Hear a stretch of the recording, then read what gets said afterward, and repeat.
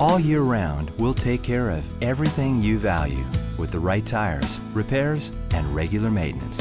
Tirecraft, will get you home.